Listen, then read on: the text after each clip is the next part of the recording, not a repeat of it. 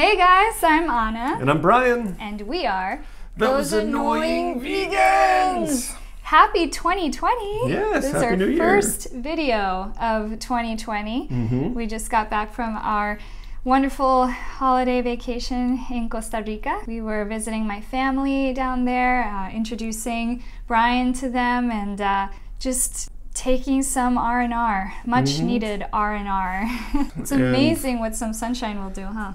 Yes, I mean we say that as citizens of Southern California, so people in like It England is- are going to be like, "Come on." Well, also, people don't know that California gets cold. it does get cold. We are a winter, desert. It is winter right now. No one's at the beach. It's 40 degrees every night. Uh. It looks sunny. If It you look out sunny. the window, it looks sunny. It's not warm. no. But Costa Rica, right near the equator, very warm. The water was very warm. Oh, yeah. Uh, it's a, almost a perfect 12 hour day every single day all year round because uh, the earth is as we know a sphere it was a, a very nice break yeah. say There's oxygen down there. they have um, uh, what are they uh, trees Yeah. there's trees There's trees. There's in costa rica plants like every everywhere. People don't have manicure. Some people have manicured gardens, but for the most part, they just let plant life explode. One of my aunts literally has a rainforest in her backyard. yeah You can't see it in the in the frame, but we've hung plants. We've put plants everywhere. We're like, oh my gosh, we need plants. We need green in this house. So we put plants up here, plants over there, and over there. We have a fern, we have uh, a palm we have a palm tree down there Yeah, and it's actually made us a lot happier. We've realized 2019 was uh was was really it was a year was a really It was a year? It was a year. it was a year. that is factual It was one of my most challenging years, I have to say, Mm. in terms of well just all the things. It was probably our most active year as vegan activists. We attended many vigils, we hosted many vigils, we've rescued uh, nine animals to date from slaughterhouses. We toured Europe, we did some activism there, we've done marches, we got fur banned in the city of Los Angeles. Not we, I Not mean, we personally, but- helped. As the vegan community, the vegan activist community helped to pass legislation, to change many, many hearts and minds, and it just seems to be continuing in that direction. I mean, it is January now. Of course, Veganuary is the big campaign every January. That has grown every single year. More and more people are signing up for that. Mm-hmm. More and more people are choosing vegan products over non-vegan products. The dairy industry is like kind of dead at this point. It's dying. They're dying. Although we have to uh, clarify, uh, there was an article on CNN today that said that the dairy industry isn't dying, it's transforming, it's evolving. And basically, what that means is people are still eating a lot of cheese and butter. Yeah. So, in your activism, try to focus on that. That's going to be our, our next challenge when it comes to dairy. But as it goes for milk sales, They are in the toilet, yeah. yeah. And of course, we have the fires in Australia, which has raised even more awareness about climate change. Uh, we were already headed in that direction with Greta and all the marches and activism related to climate change. Now we have the likes of Joaquin Phoenix mm-hmm. mentioning animal agriculture in his Golden Globe Awards speech. Mm-hmm. As a cause of climate change. Yeah, which is And huge. people applauding. Yeah, So people seem to know. Now, whether they act upon those knowings is a different story. Clearly, individuals matter. I mean, what is a group of people if not a collection of individuals? And every single person's decision adds to the global change that we're seeing. Yeah, and, and granted, we're still a very small percentage, but look at what's happening. We still have a lot of work to do, and so we will continue doing the work. Which brings us to today's video, which is as wonderful as it was that you know Joaquin Phoenix did mention animal agriculture as a cause of climate change, and everyone in the room seemed to agree. The Hollywood uh, Foreign Press, I believe, is the ones that made the decision to make the Golden Globes 100% plant-based. There are still people out there who uh, were not happy with that decision. One of our Instagram friends sent us a video from a, I'll, I'll put farmer in quotes because, as you guys know, like a farmer would be someone who actually farms plants to feed to fellow human beings. We need farmers. Um, people, however, that forcefully inseminate animals and then raise their young to be slaughtered at a premature age. I don't really know that that qualifies as farming.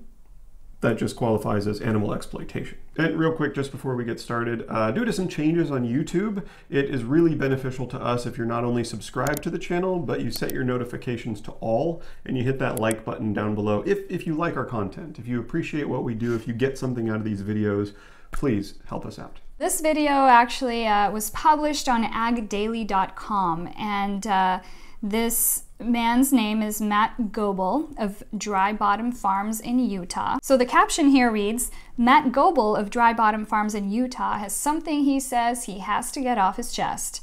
We understand. Of course, because you're Ag Daily. Matt goes into the statement by the Golden Globes which were held this past weekend, that they were going meatless to help curb their environmental footprint. Wait just a darn minute. When you include the private jets and pomp of that event being meatless, they have it in quotes, uh, should have been about the lowest things on people's minds when it comes to helping the environment. As Matt alludes to, it's mostly a bunch of Hollywood hoopla. So let's uh, let's take a look at what Matt has to say Let's and check out Matt's video. discuss. Hello, everybody. Here it is. It's uh, 6th of January 2020. And uh, some of you know I actually work at Snow College. I'm in the agriculture department there, and I teach animal science and some machinery technology and things like that. But as I drive back and forth, I'm at my farm now. I actually live about 20 miles away, so it takes me 20 minutes to drive, and I take that time to think and different things. And I was just thinking last night about the good old Golden Globe Awards and how they went meatless to save the environment. okay, let's start there. Yeah. So the Golden Globe Awards were not meatless.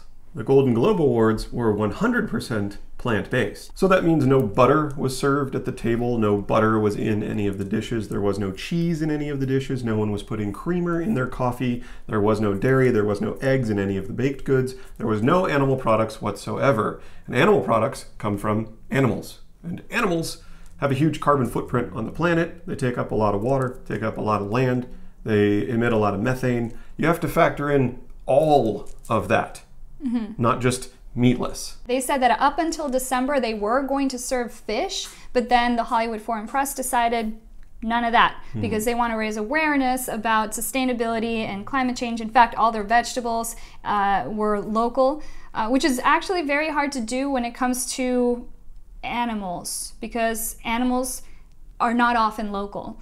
Uh, the animals that are killed at Farmer John here in LA, they're only locally killed. They're actually raised in Idaho, Iowa, South Dakota, all over the country. Well, it just doesn't even make sense. I got thinking about it. I'm like, okay, let's say there's 2,000 people there.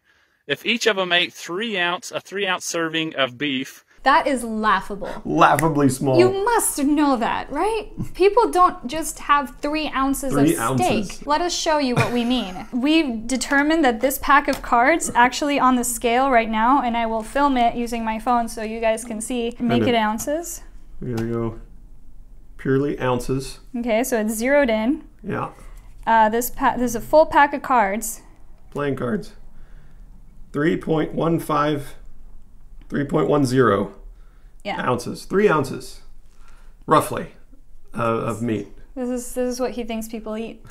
I mean, and this is not counting ceremony. not counting all the other foods that would have butter, eggs, Mm-hmm. dairy in them. I mean, if you just think about it, like a quarter pounder, that's a pretty average hamburger patty size, quarter pounder.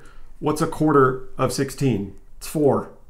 Four ounces. He's estimating that people would eat less than an average hamburger patty. Even filet it's mignons are like six ounces. Yeah. Average steak is like eight ounce, like an eight ounce sirloin. That's pretty common. Standard. That's more than double the ounceage that he is proposing that the A-list celebrities would have eaten at this banquet.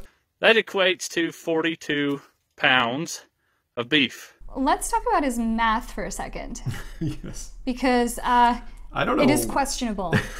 he said, let's say 2,000 people attended the Globes. Yeah, I wish I could start every argument by saying, let's say, and then insert whatever I wanted to say. I don't know how he got that number. It's actually it's not that far off. In 2018, about 6,000 people attended the Globes, according to Forbes.com. 1,300 guests of those 6,000 got to wine and dine and actually participate in the ceremony. So he might actually be underestimating how many people went, uh, Hmm. but he's overestimating how many people might have actually eaten. Yes. Uh, but let's go by his numbers. Yeah. Let's just go by by 2,000 people wined and dined. Um, He said times three ounces. that's 6,000 ounces. We convert Mm-hmm. that to pounds. That's not 42 pounds. That's 375 pounds. I don't know where he got the 42 pound number from. It's, Uh. it's almost 10 times more than he asked. It's it's almost an error of a factor of 10. And not to mention, 2,500 gallons of water is needed to make one pound of beef. So if we go 2,500 times 375, that is almost a million gallons of water Just for the just for the meat. animal flesh part. Now, if we were to be more accurate to the 2018 numbers, in which 1,300 people actually wined and dined at the Golden Globe, so you have 1,300 people times three ounces, which is 3,900 ounces divided by 16 ounces, which is still 243.75, almost 244 pounds uh, of, of beef to his 42 pounds that he somehow, I don't know. How I don't he know got how he came to that. That's not even a whole cow. He's being mathematical about it, but they don't have a cow sitting in the back lot uh, waiting to be killed for everybody's steak. Yeah. The steak that people would have eaten might have come from different cows, Yes, which means course. individual lives. And as vegans, we care about individual lives, not just numbers. And that's just mul- and that's multiple cows also emitting uh, methane gas. Most of our carcasses are a lot more than that. I love how the sheep complained in the background. Yes. It's like, no. Sheep's like, what did this guy just say? Not even a whole carcass? And if we get thinking about, okay, how many of those guys fly a private jet to get there? Hold on. Virtually zero? Okay. Let's preface this with the fact that we live in Los Angeles. Yeah. Uh, we're pretty familiar with the world of acting. We Mm-hmm. are actors. Uh, we've been on set several times, we've been in the studios. We know that very, very, very A list celebrities do have private jets, but those include, Yes. you know, the likes of Tom Cruise, Angelina Jolie and Brad Yeah. Pitt, Beyonce, Ellen like DeGeneres, Jay Leno flies, Oprah. flies private. Yeah, we're not talking about like The sound editor from from Once Upon a Time in Hollywood did not fly there on a private jet. I this is okay. so ignorant of the industry. We know for a fact that most actors are LA based. Mm-hmm. Most actors. There are some A list celebrities, like Meryl Streep, for example, who live in Connecticut, uh, the, who some people live in Tennessee, uh, Yeah. all over Jeff the country. Daniels lives in Michigan, I think. You know, some actors live in New York. They can afford to fly over when Sure. they're needed for a role, sure. But people literally move to Los Angeles to become actors. Now, New York is also a relatively large market, but New York has always been known for uh, theater. That's why actors tend to go to New York for Yes. theater, for Broadway. An anthropologist actually wrote an article on HollywoodSapien.com where he estimated how many actors are in LA versus New York. Uh, and he explains how he arrived at these estimates. And he says very clearly that he's very candid. This is, at its best, a very educated guess. So he arrived at an estimate of roughly 80% of the acting work is estimated to be conducted within Los Angeles. The number of actors in Los Angeles is approximately 108,640. Compare that to New York, where he estimates that there are approximately 18,963 actors in Actors Equity. However, Actors Equity is, is for theater, theater. and the Golden Globes is television and movies. So, uh, SAG AFTRA membership in New York City, he estimates to be at 28,963. So, over 100,000 SAG AFTRA members in LA, 28,000 in New York. I don't think it's unrealistic to assume that most working acting professionals live in Los Angeles, and the Golden Globe Award show took place in Los Angeles. So I don't think many actors would have flown a private jet from, say, Beverly Hills to Beverly, Beverly Hills, Hills. which is where the award ceremony took place. Or Uh, even Malibu, or even Hollywood, or uh, I don't know. just this private jet thing is a, such a huge assumption. Yeah. Like, like everyone in Hollywood. I mean, I think this is what people generally think Yes. when they think about Hollywood. yeah. Oh, everyone has a private jet. Everyone Lives in a shops on. Rodeo Drive. everyone lives on the beach. No, uh, working in Hollywood is incredibly difficult, and uh, you are incredibly lucky if you have any amount of professional success as a working actor. And this is simply a, a ballroom in a hotel in Los Angeles, uh, filled with a, a very small number of working professionals, the vast majority of which do not have private jets. Well, how much does that jet emit? So I looked it up. So if I said, okay, 100 of those actors flew there on a private jet, and let's say their average flight time was two hours, those jets during that time would emit 60, or let's see, 39,600 pounds of CO2 into the atmosphere in just that short amount of time. There's that sheep again. Um, Why is he saying a hundred? A hundred of them own private jets? that's a gross It's a overestimation. huge amount of Look people. up online. You can actually Google who owns private jets. Now let's think about it. They've got to drive a car to get there. Okay, obviously they've got can't take the jet right to the Golden Globes or whatever, so they're getting a car. So let's say every there's a thousand cars that drive there. Again, I'm saying okay, there's two thousand there. You know, they all got their limos. They can't share. They maybe they ought to carpool a little bit. But uh, let's say there's a thousand cars that drove there, and the cars drove on average about 30 miles just to get there. Now I'm only talking one way. Hold on. Is he talking about from the airport? From LAX to the Beverly Hilton Hotel is 12 miles. Again, this, like, A just throwing numbers out there, like 30 miles. Like, even Pasadena is 19 miles. I think you would have to go all the way to let's say West Covina. Covina is about 30 miles. 30 miles, All right, okay, so West yeah. Covina. you're just throwing numbers. You're just making up numbers. So one way, that's 21,000 pounds of CO2 that those cars emitted into the atmosphere. So on total, just to get there, this is one way for all those actors and everybody to get there. That's 60,600 pounds of CO2 emitted just by their vehicles.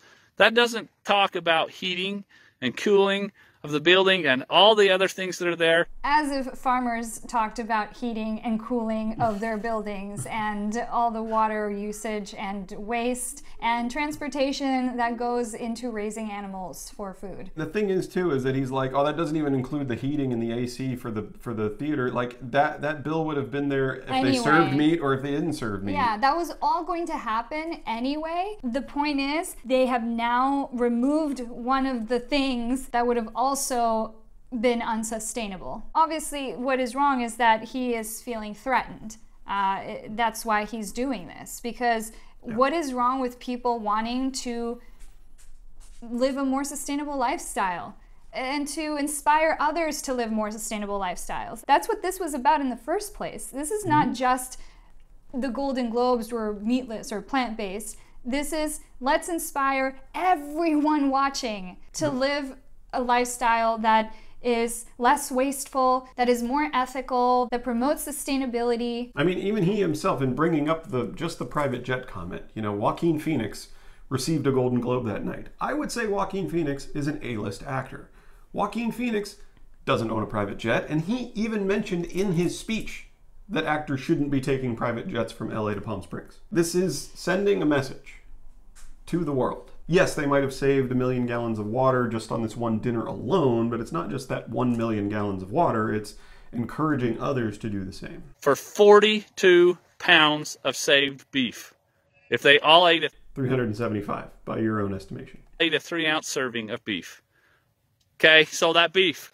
If a beef, let's say this, in a year, one cow emits 220 pounds of methane, and these guys say, oh, it's so much worse. Well, that methane is 23 times, is what they say.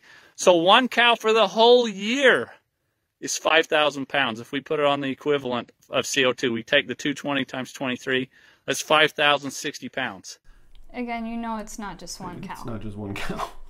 Okay, two and a half ton compared to 30.3 ton. So obviously that's not the issue. Now, if we even took the cow just for the day and it's not a whole cow, it's 42 pounds worth, it's only going to be about 13.8 pounds of CO2 if we put it to the equivalent that is emitted. So it's stupid. I don't get it. It's all, it's all, the thing I see is this is where the animal rights activists come in and they've found another way, and the way that they want to make animal agriculture look is bad. And so they. We're not doing that. You're doing that. We're not trying to make animal agriculture look bad. It, or it looks bad because when animals get their throat slit, that looks bad. Mm-hmm. That's bad. We're not doing anything. We're just showing people the truth. I mean, I get it. Animal exploiters are feeling threatened. They're mm-hmm. afraid. They see that people are changing their minds. People are learning the truth. They are blaming it on animal rights activists because we're showing them the truth that they don't want to show people because they know if they did, people wouldn't want to buy their product. Mm-hmm. Product because animals are not products. It's not hard math. 70 billion land animals and 7.5 something, let's round it up to 8. 8 billion humans all need fed. 70 billion land animals, we're feeding them. 8 billion humans, we're having a hard time feeding all of them. But we're tasked with feeding both. What if we only had to feed 8 billion humans? Whether the, whether the animal eats grass, which requires land, which requires water, which requires resources, or if we feed them, you know, crops that we have to grow, which requires land, which requires water, which requires resources. 70 billion plus 8, Yeah. or just 8. I don't understand when people argue that eating animals is somehow more sustainable or more eco-friendly. It just It doesn't It make doesn't- mathematical it- sense at all. attack it. They think that if they can get a global issue there and have governmental policy tell us and regulate us, that's a victory for them. When the science governmental policy. One, we're not trying, we're doing. Two, it's a victory for all. It's a victory for animals, it's a victory for humans and human health and pla- the planet. It- It's that we're not against you. We're not against uh, animal agriculture employees. No, we understand that there's a demand and you're fulfilling the demand. And uh, unfortunately, and I would argue that this is fortunately, but if you're in the business of exploiting animals and the demand for exploited animal products is going down, that is unfortunate for your business. However, it is fortunate that demand for products that come from exploited animals is going down because we still need farmers. You know why? Because we don't want to be farmers. I would rather pay a farmer to grow my food and then I will buy it. We need that. Vegans are not against farming. We want farmers. We want more and more and more products to be on the market. We want competition. Uh, we want to inspire employment opportunities. I feel like if people that worked in the animal exploitation industry stopped viewing this as the end of a business, rather the beginning of a business, there are employment opportunities available. Yeah, why not get in on plant it? products. Get in on it now. Everybody knows that this is where it's going. Mm-hmm. Forbes, the the economy, the economy is it's going the vegan route, whether you want it or not. That's just where it's going because social media, because activism is alive everywhere, Mm-hmm. and if you choose to stay where you're at now, you're going to have a much harder time later when other companies who have who caught on fairly quickly you're going to have to find your spot rather than jump in on it now and be one of the leading businesses in the industry And there are actually organizations that will help animal exploitation farms transition to plant farms. It's not unheard of. It's happened in the past. It will continue to happen in the future. science simply is not there to prove it. So I hope there's enough people out there that understand that this is all a bunch of hocus pocus. The last person you should believe in is an actor and a celebrity because what's their degree in? Theater? Sorry, I'm not against theater people, but your degree's not in climatology, your degree's not in agronomy or agriculture or natural resources. It's not your degree. So again, think about where we're getting the information from. If there's a whole group of actors that are out there telling you to do something, you better look into it because by golly, there's probably an underlying agenda. So actors by nature have an agenda, according to this gentleman.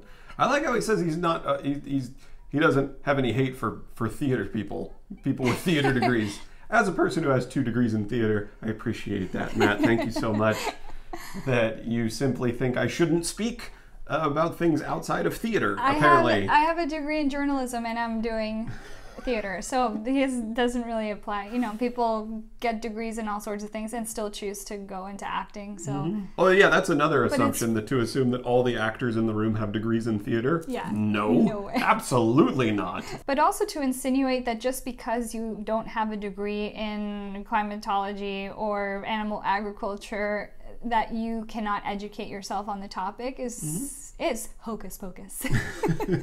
It's it's hooey. It's Hullabaloo. hoopla. The thing is, you guys, we've realized that uh, we've been lied to our whole lives. We used to eat meat too, uh, but once we saw what it took to put that animal flesh and, and, and animal secretions on on the table, we no longer wanted anything to do with it. 99.9 repeating percent of people are already vegan at heart. They already agree with the vegan message. Living a vegan lifestyle simply means you want to live a life that excludes the exploitation of animals. And most people already agree with that.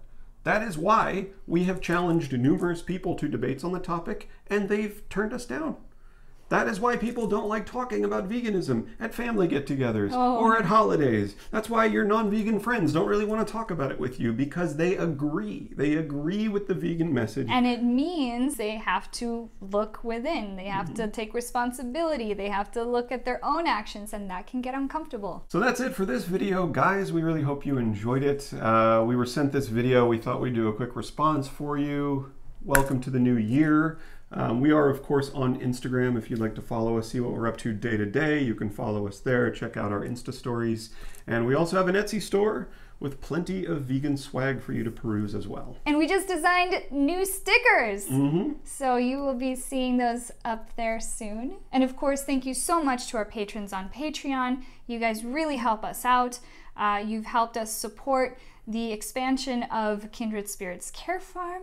They just closed on a new property, uh, and we've been going on Saturdays and helping out. And you can follow that process on our Insta stories as well. So, thank you guys so much for watching. Please subscribe, hit that thumbs up or thumbs down button. I don't care, helps us out anyway. We'll see you guys in the next video.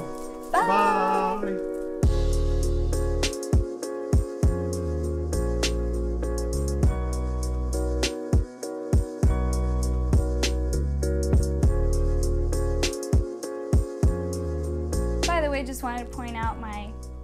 Shirt That's right. from Little Pine Restaurant. This is a restaurant that Moby owns, and they just came out with these awesome new shirts, and they have a bunch of other shirts as well.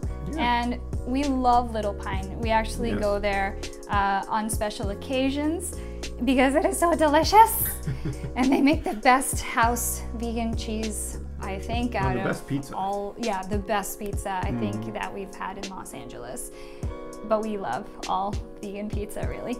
Um, but the reason this place is so special is because every single dollar that they make goes to helping animals. They keep none of the profits.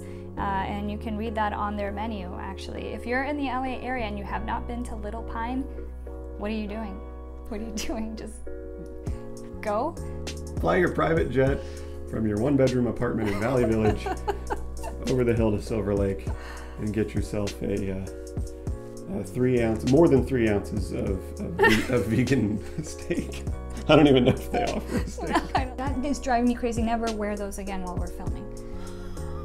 I wear these every time. Yeah, but the, the click, click, click, click. I hear click, click, click, click, click.